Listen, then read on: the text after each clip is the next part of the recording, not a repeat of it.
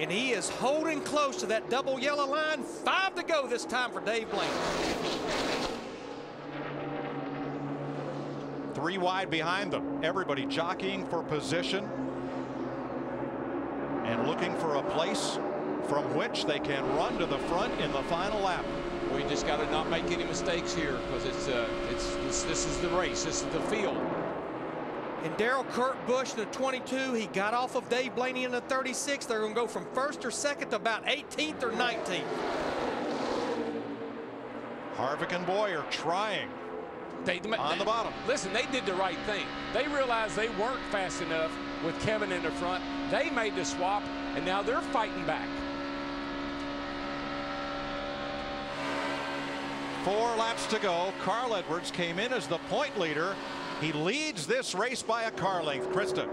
And this was the plan all along, Mike, for Carl and Greg. With 20 to go, Greg told Carl, I know you're going to want to go hard, but we've got to wait till there's four or five laps to go. That's when we'll go, and we can win this race. They're going as hard as they can, but Bowyer is pulling a train up the outside. What a great move, Larry. What a great call on Bowyer's part. Let me lead. I'm faster. You push. And they did it early enough. They're able to recover from it. And they're fighting back. Oh, oh a car around. And around goes Blaney. He saved it. He saved it. No yellow. Hey, another famous, another great dirt track racer and a great dirt track save. But what a heartbreak.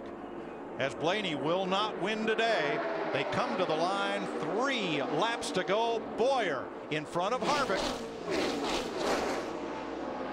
Edwards third, Biffle fourth, Jimmie Johnson, Earnhardt, Gordon, Martin, Truex, and Reutimann, the top 10. Kurt Busch. That is the third car to spin off the front bumper of Kurt Busch today. He's got something sticky on front of his car, too. Guys, we'll be coming to two laps to go. We're not done yet. 85 lead changes. Paul Menard trying to win his first Sprint Cup race. Uh-oh. You know what those two up on the top are saying, don't you? Where'd they come from? Carl Edwards in that 99, Greg Biffle in the 16.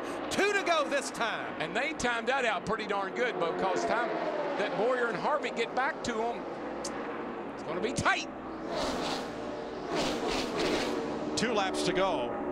Remember, seven of the last 11 Talladega races decided by a last lap pass. Bowyer and Harvick coming again on the high side. Yeah, Bowyer got got real tight on the, the side of the 16 car, but it's paying off. Drag race down the back right there.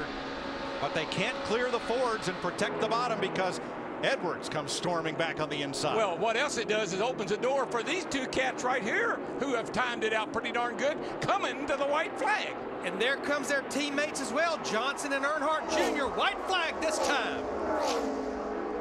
Those have been the two best cars right there most of this race. They're the, just now showing it. The bell lap and the man who started up front leads it, Jeff Gordon.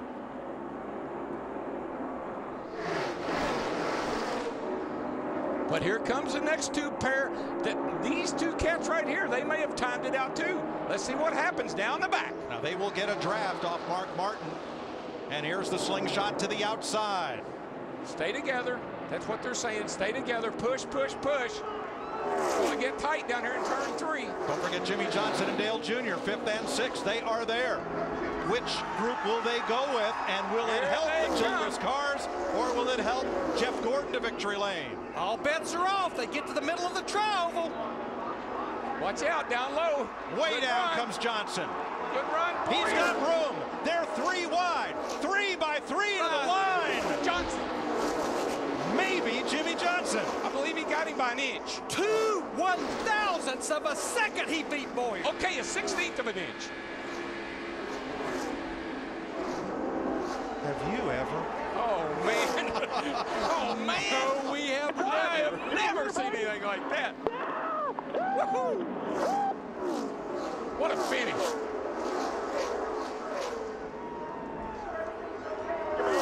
That's how you do teammates, man. Go up and congratulate them. Both y'all won that race. Both y'all.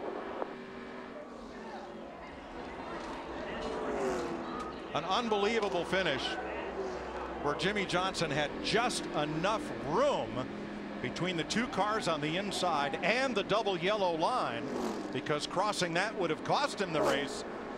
He had the room. He made it work. It, it just, it, it's amazing how things will work out sometime for you and sometime that time it worked to perfection. Watch this. Jeff Gordon watching Bowyer, seeing if he can beat Bowyer. Left just enough room on the inside for Johnson and Earnhardt. Right there in the trioval, it's Bowyer's race. Yeah, it looks like Bowyer's pulling ahead, but then all of a sudden he hit that air, that wall of air. Here comes that 48. But Darrell, the start finish line here is a thousand feet further. And look how close it is, four wide at the wire. That is just a beautiful thing right there. Two, four, six, eight cars. So close, we can hardly capture it with our stop motion camera. There's a look at it, and there is the margin. Darrell, this so reminds me of 1981 when you're looking over at Terry Labonte to make sure you beat him. Today, Jimmie Johnson was the Ron Bouchard of 1981 who swept to the inside and won it. Mark Martin saw the 48 coming, but he couldn't do anything about it.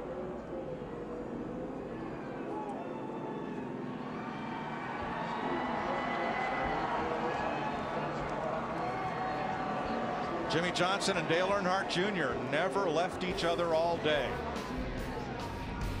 And look at the Exmo, the Fox Exmo look of the finish as Jimmie looks for the checkered flag at the start finish line.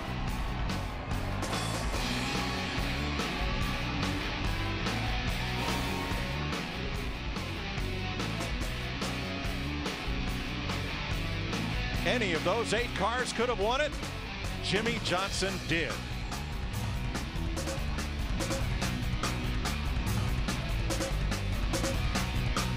Here they are coming down the back straightaway, fifth and sixth. I think what really helped them was when uh, the 24 and the 5 got side by side and the 33 and the 29 that gave the that gave the 48 and the 88 Jimmie Johnson and Dale Jr. that gave him a real suck right up to the back of this foursome right here. Now when these four cars are running side by side you've got to find a place to go. Thought about the outside but knew he couldn't do it. Right here Mark Martin could have maybe saved the win for Jeff Gordon but he didn't get down in front of Johnson quick enough. Johnson got to suck off of all those cars beat everybody to the line first Look at Carl Edwards. He was three car lengths back exiting turn four, and he almost gets to Johnson at the finish line. Jimmie picked up the flag from the starter and brought it to his teammate and wingman, Dale Earnhardt Jr. That's sweet right there, boys. This ties the Ricky Craven Kurt Busch finish at Darlington for the closest margin of victory since the advent of electronic scoring in the Sprint Cup Series. We were there. At Darlington, 2003.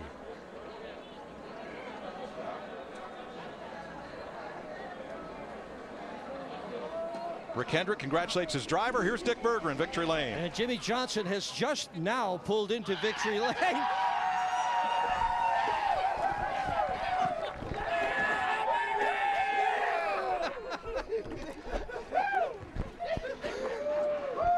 As it gets just a little wet down here. Jimmie, walk us through that last lap and tell us how you drove the car to win the, to win the race. That was Jimmie cleaning our lens. Man, I thought we were in trouble. Um, something happened with like two to go, and we got disconnected and had a really tough time here in junior um, on the radio. So I didn't know what he was saying or what he needed, but we were disconnected, and I got us back together, and I think he was overheating. But uh, we got hooked up and rolling, and then all of a sudden it was just two groups in front of us. Had a big run down the back. I thought at the bottom they protected it, and then I just rode through three and four, and I'm like, we'll get another chance, I hope.